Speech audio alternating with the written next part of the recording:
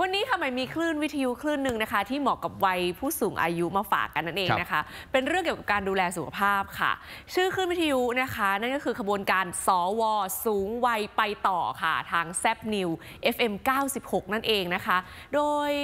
งานนี้นะคะดำเนินรายการโดยคุณหมิมจารุนันท์อธิอาวัชรกุลนั่นเองนะคะ ล่าสุดค่ะเขาก็ได้มีกิจกรรมพิเศษนะคะ ในการฝึกพลังอืมกายใจให้เข้มแข็งค่ะ โดยคุณหมอสันใจยอดศิลป์นั่นเองนะคะ ซึ่งคุณหมอนะคะเป็นแพทย์ผู้เชี่ยวชาญด้านเวชศาสตร์ครอบครัว แล้วก็เป็นบุคคลคุณภาพแห่งปี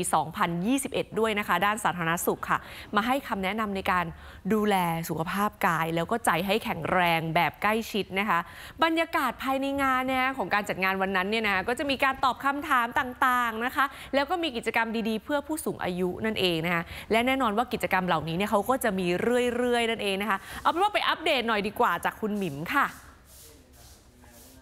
งานสัมมนาวันนี้นะคะเราตั้งใจจะเชิญชวนกลุ่มผู้ที่เรียกว่าเป็นผู้ใหญ่ที่ยัง active อยู่นะคะแล้วก็ผู้สูงวัยที่ยังเรียกว่า young at heart นะคะมาพูดคุยกันกับคุณหมอสันต์ใจยอดศิลป์นะคะเพราะว่าคุณหมอสันต์ใจยอดศิลป์เนี่ยไม่ได้มองเรื่องของการดูแลสุขภาพกายเอ่อเป็นเรื่องสำคัญอย่างเดียวนะคะ สุขภาพใจเนี่ยก็เป็นเรื่องใหญ่ทีเดียวนะคะ โดยเฉพาะคนสูงวัยเนี่ยเราก็พบว่าใน ปัจจุบันนะคะภาวะของผู้สูงวัย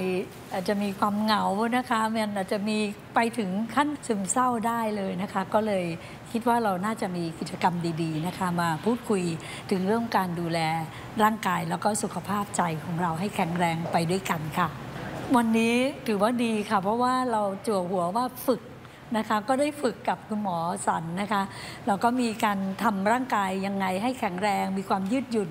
คุณหมอก็ได้พาสมาชิกวันนี้แฟนคลับวันนี้นะคะได้เอ่อรำไทยชินะคะเราอาจจะเคยได้ยินรำมวยจีนแบบอื่นนะคะ แต่ว่ารำมวยแบบไทยชินี่ถือว่า ทำให้ทั้งร่างกายนะคะแบบเหงื่อซึมนิดๆเลยนะคะ คือแข็งแรงดี แล้วก็ทำให้กลับไปอยู่พลังข้างในนะคะ กลับไปอยู่ในสติ แล้วเราก็จะเห็นว่าพลังข้างในนั้นเรามีเพียงพอที่เราจะตระหนักถึงคุณค่าของคนสูงวัยอะค่ะอันนี้ก็เลยสนุกกันแล้วก็